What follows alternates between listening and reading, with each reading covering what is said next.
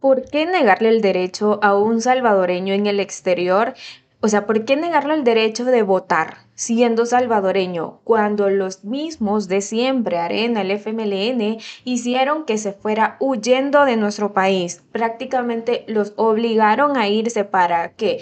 Por ir huyendo de la inseguridad, por ir huyendo de la pobreza que tenían hundidos nuestro país, por ir huyendo por todas las cosas negativas que el FMLN y Arena hicieron en nuestro país. Y ahora todavía se siguen oponiendo para que ellos sigan o tengan el derecho de votar. Esto me parece una total falta de respeto y sinvergüenzada para nuestros hermanos de la diáspora. Pero miren, el voto en el exterior ya es un hecho. Después de no sé cuántos años de que nuestros hermanos de la diáspora eran rechazados, eran vistos de menos, no los tomaban en cuenta, era como que no existían.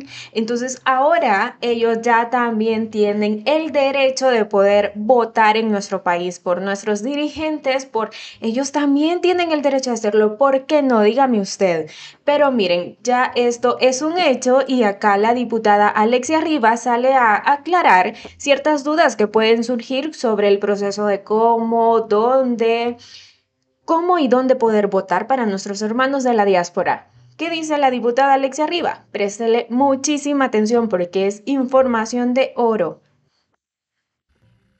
Ese día emitimos dictamen favorable para la ley especial para el ejercicio del sufragio en el extranjero. Es importante que sepan que podrán acreditar su nacionalidad a través de dos documentos, el DUI y el pasaporte, los cuales deberán estar vigentes o no vigentes a la hora de emitir el sufragio.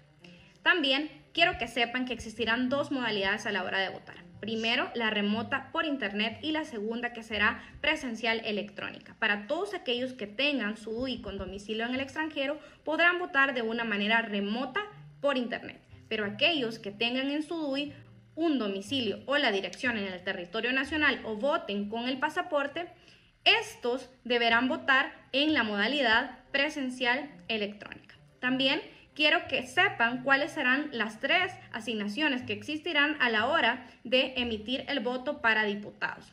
Primero, aquellos que tengan su domicilio con DUI en el extranjero, esos votos serán contabilizados al Departamento de San Salvador. Los que tengan en su DUI una dirección en el territorio nacional serán contabilizados a ese departamento donde su domicilio diga. Los que también voten con el pasaporte, ya sea emitido en el territorio nacional o extranjero, esos votos serán contabilizados también para el departamento de San Salvador.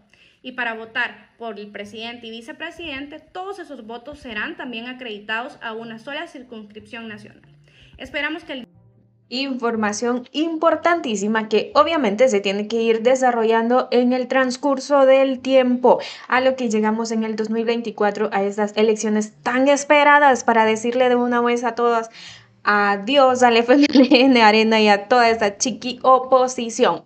Pero miren, nunca falta el pelo en la sopa, nunca falta que se queje por todo y por nada.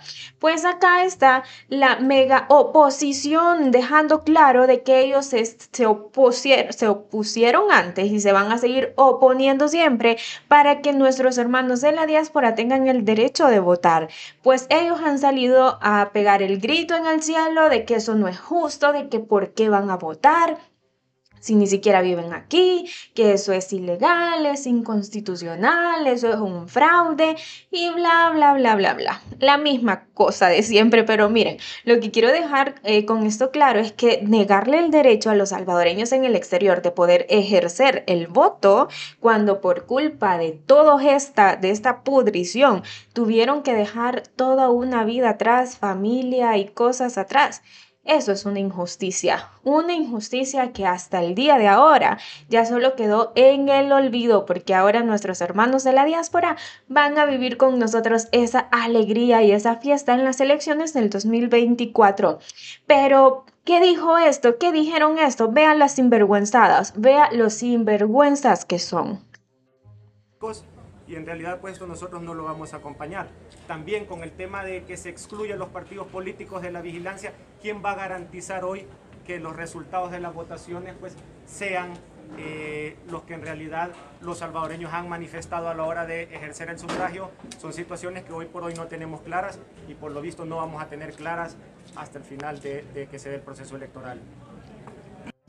Eh, no considero que esta ley, eh, como lo dicen, garantiza el voto del salvadoreño y salvadoreña en el exterior, sino más bien garantiza la desconfianza que podríamos tener de ese proceso electoral.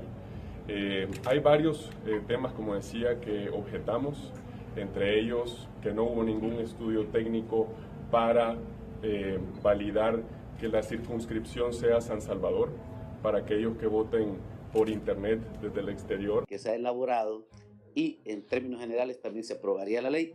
Los que estén de acuerdo, por favor, levantar su mano en señal de aprobación.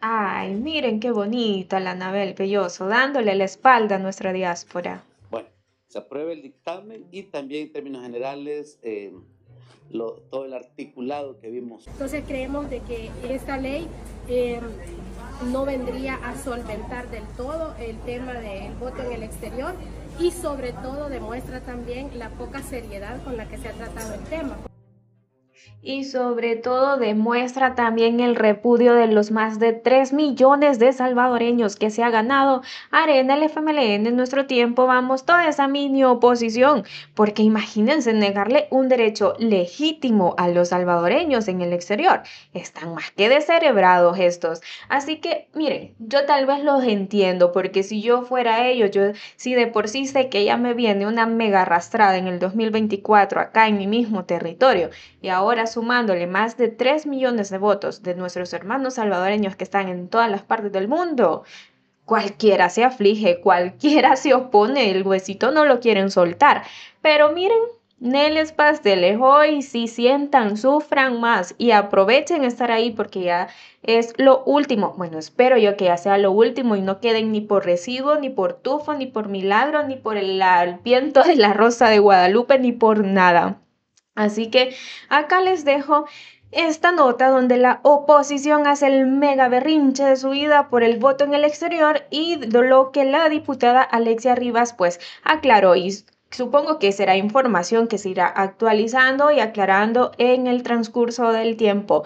¿Qué le parece a usted esto? Voy a leerlos en los comentarios. Gracias por llegar al final de este video. Recuerde suscribirse a nuestro canal, activar la campanita de notificaciones y nos vemos en la próxima.